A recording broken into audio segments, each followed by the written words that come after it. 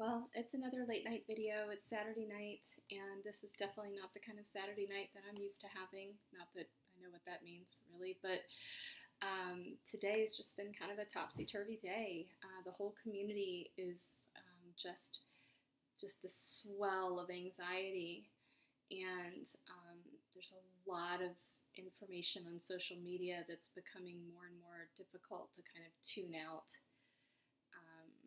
I spent several hours going to the grocery store, running errands, getting things ready, just so that as much as I can, my children can be ready to be home. Um, I can be ready to be home for a long period of time if I need to be. Um, but there's definitely a sense of panic out there right now, and it's hard to keep focused, really. And, you know, my thoughts today are about how am I going to try to maintain the focus that I need to right now. I have a number of competing work demands on my time right now. I have um, obligations to clients that need to get out.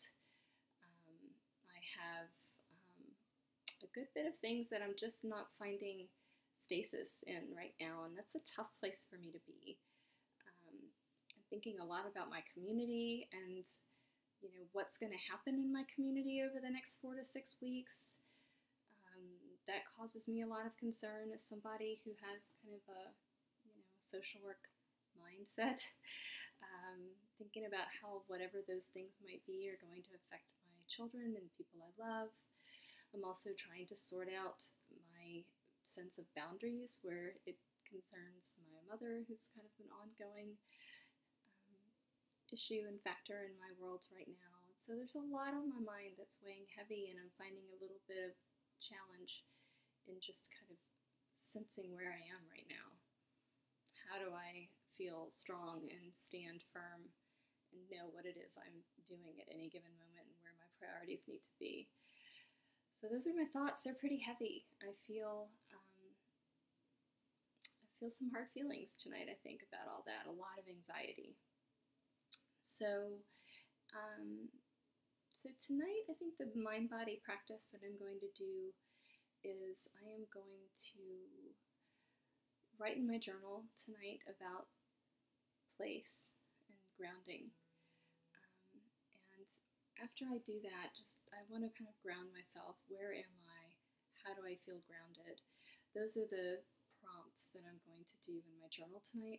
But I'm also going to I think it's a really good time to revisit um, the safety stance that kind of I've done in an earlier video and I've done with clients in my office on a number of occasions. And that is really um, a, a, body position uh, that helps promote a sense of containment and safety. And um, I think this is a great time to practice that. So I'm going to demonstrate that really briefly.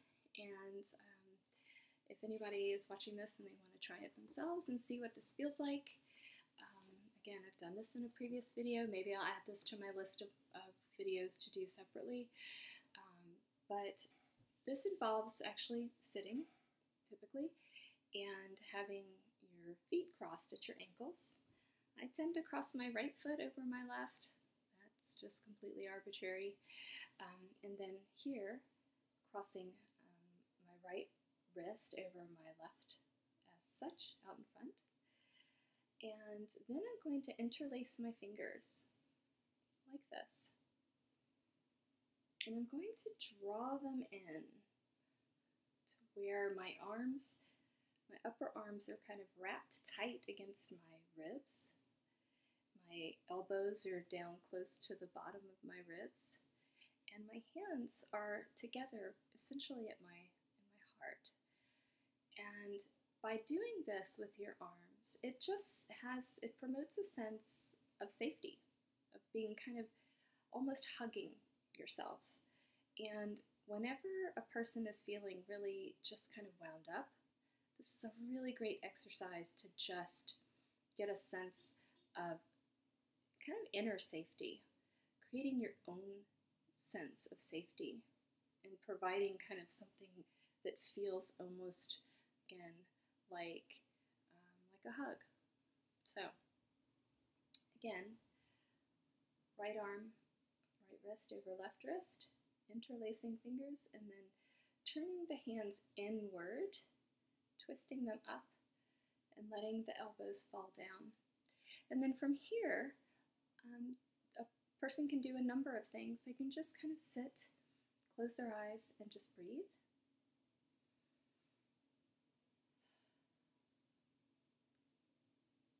Which is probably what I'll do, just something very basic like that. Um, but another way of making this exercise effective is to add the word safe. Breathe in safe, breathe out safe.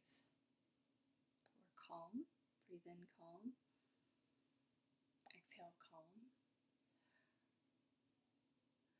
Or a phrase like I am safe or I am steady. Anything like that um, coupled with the stance um, stance can be a little challenging on the wrists if done too long, so this is a good one for just maybe about three minutes, three to four minutes of just sitting that way. Um, so that's what I'm going to do tonight after I do some journal writing. And um, after this video, I'm actually going to work for a little while and try to get a sense of peace with my work before I go to bed. Um, the song that I'm going to add to my playlist is another old one and it is by the band REM, and it's called Stand. And um, I think it's really appropriate. It, wasn't my intention when I started these playlists for the songs to be kind of apropos to the topic. Um, my original idea was just like, what song is on my head today? Just like, what thoughts are in my head today? But it does seem like there are times when I think of a song that just feels appropriate and I've posted a number of songs in my playlist like that, um, where it just feels like the right song in terms of what the theme is. And so, so this song by REM called Stand is, is about feeling grounded and looking around. And because I feel like I'm just looking around right now at my community and trying to just feel grounded, it just feels like a good song to include. And when I heard it earlier today, I thought, yeah, this is a good one. So um, that's what I'm adding to my playlist. And after this, I'm going to work for a while and hopefully get some rest, which we all very much need if we're going to do our best to try to stay healthy right now.